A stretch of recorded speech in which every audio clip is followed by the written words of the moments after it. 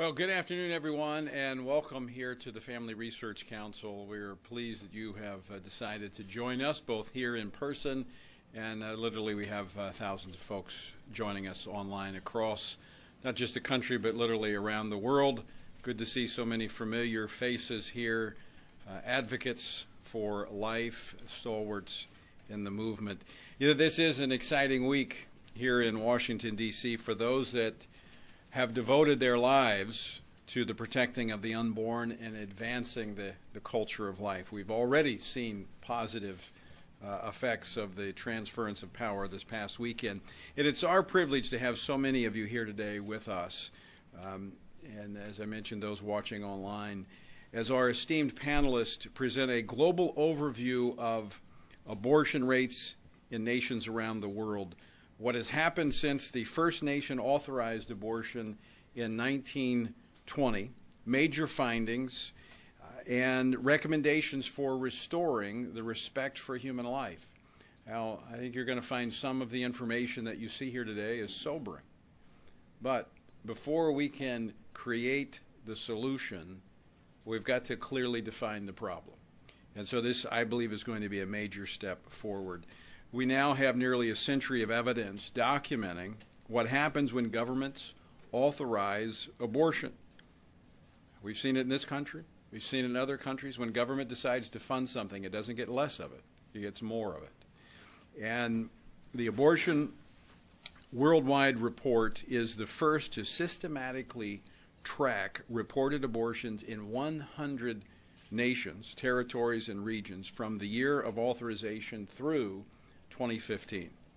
And FRC is honored to co-host this event with Global Life Campaign, and I'm proud now to turn it over to Arina Grossu, who is FRC's director of the Center for Human Dignity and uh, one of the expert reviewers of the Abortion Worldwide report.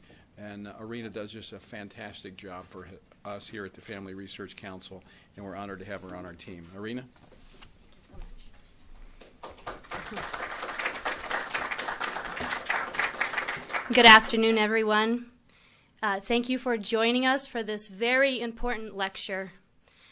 What you will hear about today is an unprecedented report tracking the worldwide abortion toll of 1 billion babies in 100 countries in one century. I wish we didn't have to have a lecture such as this today. But my hope is that we can take this information of our tragic global past and change our future by instituting strong pro life laws worldwide. I would like to give a special welcome to the ambassadors and diplomats joining us, representing different countries, as well as various pro life leaders present here today. I would like to call up Father Boquet, the president of Human Life International, to start us off in prayer.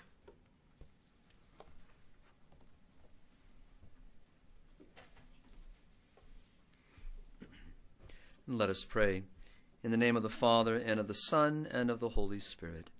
And so, Father, as we come together this day, we are gathered because we want to discuss and to reflect upon issues affecting human life and the dignity of life.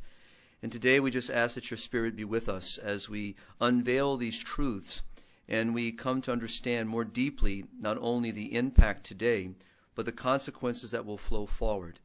Life is threatened around the world. And there are people around the world who disregard life, who treat life as a commodity, who look upon life not with the dignity, the inalienable and inviolable dignity of every human person. And sadly, there are people around the world in political office and positions of authority who disregard their ultimate responsibility, and that is the protection of human life, in favor instead of laws and policies that disregard life and undermine the family. Today, as we gather to reflect, to discuss and to unveil these numbers and stats and figures and reports. We are hopeful, dear Lord, that you will use these wonderful instruments to expose ever more deeply the truths that will bring people into the light. We pray that the opening of ears and eyes will truly happen today, that people will hear what needs to be heard and move from indifference to action. We pray that eyes that have been closed, have been blind, will open and see the realities of the destruction of human life and the consequences upon societies around the world. We pray today for every life that has been lost. We pray for those who mourn the loss of these little ones. We pray for families that have been broken because of the violent crime of abortion. We pray for societies whose demographics today are so wounded and their country and their society's continuation seems to be so threatened. We pray for them. And we pray today that all that will be exposed may truly be received and welcomed, and that we will respond generously and act accordingly. So thank you, Father, for this opportunity to be together.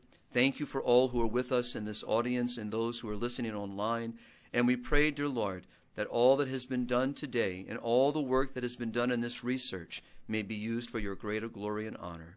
All this we ask in Jesus Christ's name. Amen.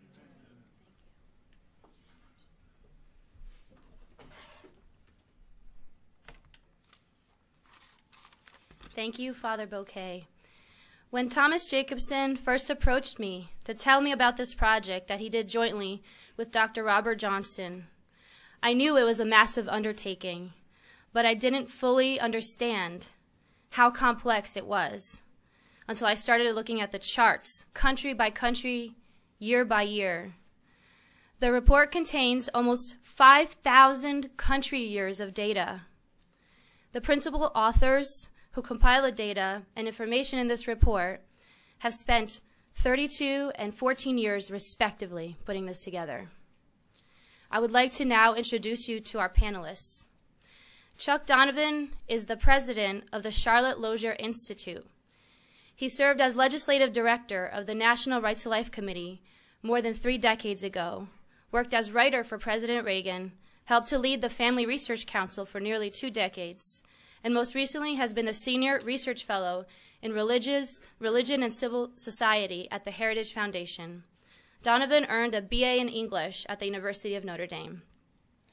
Dr. Brian Clowes is the Director of Education and Research at Human Life International. He is a graduate of West Point, a former A-team leader for the Army Special Forces, and holds a PhD in Civil Engineering and Systems Science. Since 1995, he has been HLI's Director of Research and is one of the most accomplished and well-respected intellectuals in the international pro-life movement.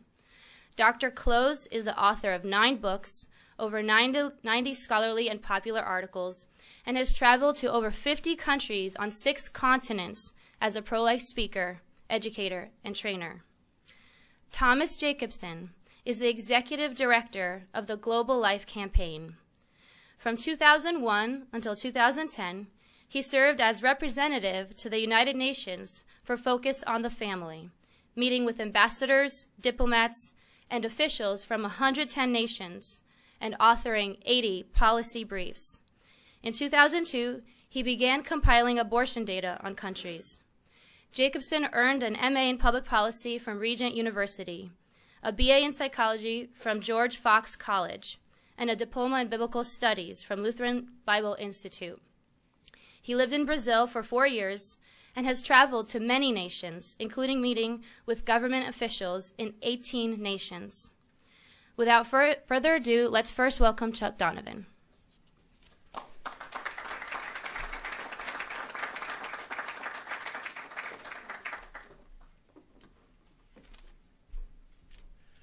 Well, I have a very difficult task this morning is to kick off a report about 1.018 billion abortions worldwide over the last century. I want to thank Family Research Council, Tony Perkins, and Arina for hosting this tremendous gathering on a mammoth work of history, statistics, and hopefully of understanding. I read uh, looking through the individual data and the way you might analyze it and try to come to grips with it. And of course, you immediately notice that 739 million of these human lives were lost in communist countries. Just four blocks away from where we are is the Victim of Communism Memorial. If you haven't been there, it's worth your trip. It's an emotional place to pass by. There is a statue, a sculpture of the goddess of democracy who was erected in Tiananmen Square by brave Chinese students who, in unnumbered numbers lost their lives, standing up for democracy and freedom, and I trust probably for life as well. Well, it says on the base of that statue that it's a memorial to the 100 million victims of communist persecution. After this report, there ought to be a multiplier and an amendment somewhere on that site. Having said that, we in the United States and the rest of the free world, as we understand it, do not escape without a great black mark in this report. Even more so because we are free. We did a study at Family, Re uh, Family Research Council, probably inspired it, but at the Charlotte Lozier Institute, with respect to elective abortions late in pregnancy. There are seven nations worldwide that allow elective abortion after 20 weeks. Now, life begins at conception and is worthy of protection from that point on. But the truth is that we are in the company of North Korea, China, and five other nations. We did it by judicial decree. They did it by other means of decree. So we escape no black marks in this report. We also know that in, statistics like those in this report are impossible to grasp. Simply impossible. The famous quotation from Stalin when he was commissar of munitions and he was uh, discussing with the commissar responsible for Ukraine, where a deliberate famine had killed millions, and he was reciting the statistics to Stalin. And Stalin replied, Well, if only one man dies of hunger, that is a tragedy. If millions die, that's only statistics. How do we get around the fact that we are dealing with what, for many, will seem like only statistics? Well, it's very hard to put it in any frame of reference that penetrates our minds and hearts. But it would be the equivalent of one in six people. One in six people in our world today who are not here, who are lacunae in our friendships and in our loves, our families, in our territories, in our homes. So, how do we look at it? Well, it would be one more person who should be here on this panel speaking today. If you're in the metro system, it would be that last car that doesn't come in, or the empty car. Or maybe for those of us who wait on metro delays, it would be for the driver who didn't report to work, creating the delay. If you're a fantasy football leaguer, the top 30 rushers you might choose from, well, five of them are not there because those five people were obliterated in the United States in the womb in recent years. If you worked at the patent office, it would be 65,000 patents not granted in 2015. What might those patents have done to improve our lives?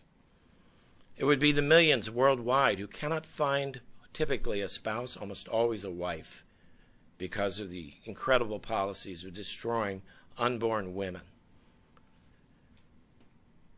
It would be nine missing members of our current astronaut corps who will not be finding new worlds for us and new ways of living in the one we have. This is just one way, and I'm sure many others will come up with a way to cope with statistics, statistics that overwhelm the human mind and heart. But we cannot be overwhelmed. Certainly, Thomas Jacobson here today and William Johnston, a person I've longed to meet for many years after using his Johnston archives. Uh, incredible labor, 5,000 data years. Uh, it scares me to think about it. And here we are in a public place today where you get an hour or so to explain it, but I know how much labor there was. It's kind of like a medieval manuscript translator, all of that for one book.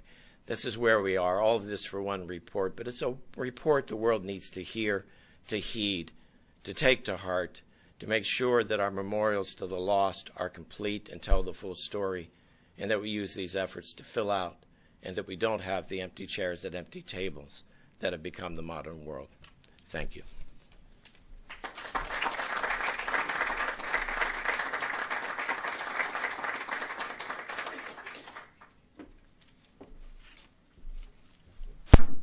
Good afternoon, everyone. It's a great honor to be here.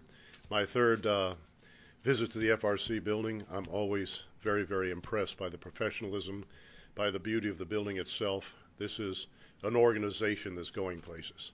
And I want to thank uh, Mr. Thomas Jacobson and William Johnston, Dr. William Johnston, for all of the work they've done. We've already used it a lot. Even this AWR report is always already being put to work for Human Life International. So it's not just an exercise in statistics. It's a massive undertaking, and my role was primarily just not very imaginative, but to go over the information to make sure the, the statistical methods were properly executed and so on. And uh, I was very much impressed by the professionalism of this entire report, how it hung together, and how simply it was explained so that virtually anybody could understand it. Now, Father Shenan Boquet and I, the president of Human Life International, I'm the director of research. We just returned from Kenya and the Paris March for Life. We've been to close to 100 different countries, if you count between us, and uh, we can see the tremendous amount of use of this AWR report is going to be put to. Uh, I can give you three examples right away. The first is, especially in Africa and parts of Asia, that if someone from developed countries comes in and starts talking about virtually any topic, they're considered to be an expert. And one of the strangest lies we've ever run into over and over again is that if you legalize abortion, you'll have less abortion, which makes absolutely no sense whatsoever.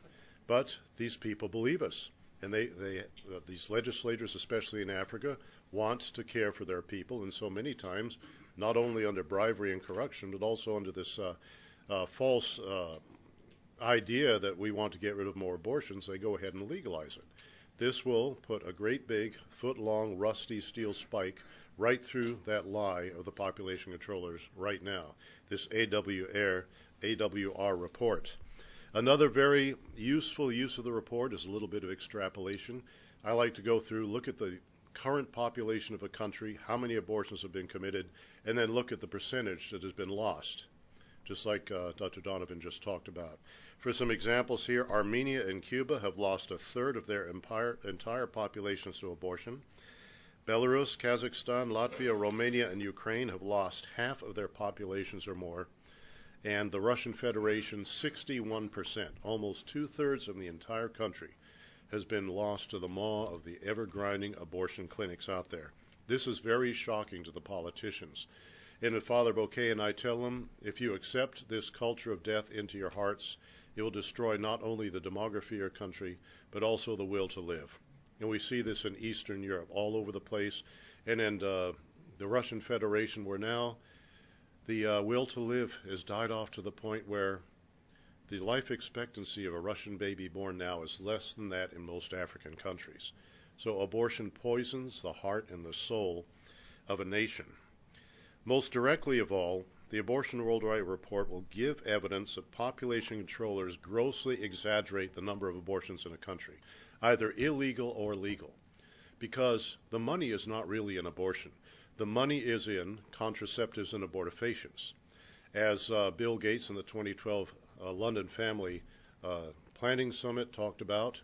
Every time you get uh, one of these 120 women, 120 million African and Asian women onto these abortifacients, these chemical methods of birth control, it makes the pharmaceutical corporations $500 every year for each woman that gets hooked on this stuff.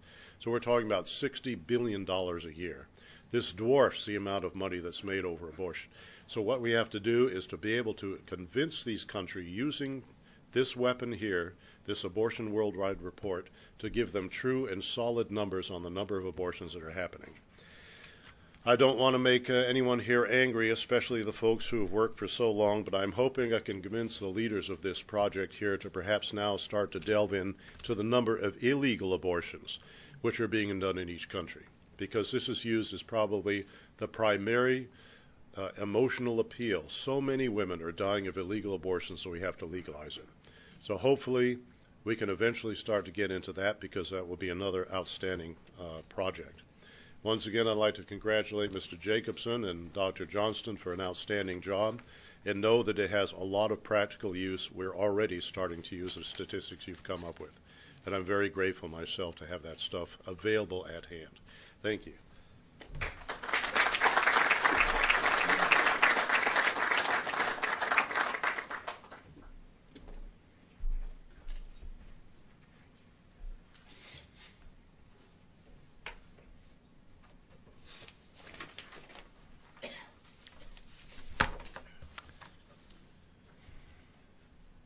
It's my honor to be here, and I'm so grateful you're here too. So, Excellencies, distinguished diplomats, and guests, pro life leaders, family, friends, and media representatives, thank you for coming to this historic briefing. Dr. William Robert Johnston and I are the authors of the Abortion Worldwide Report, which is the culmination of 33 years of work for him and 15 years of mine. He is not able to be here today, but we jointly prepared what I now present to you. First, we thank Family Research Council for hosting this event, and I also thank Human Life International and National Right to Life Committee and Regent University uh, for um, co-sponsoring this report. Also, I want to express my deepest gratitude to the leaders and staff of these organizations and to Dr. Pat Fagan, who's also here, for their assistance, and to Tony, Arina, Chuck, and Brian for your participation, and to Father Boquet for that excellent prayer, and to our Lord Jesus Christ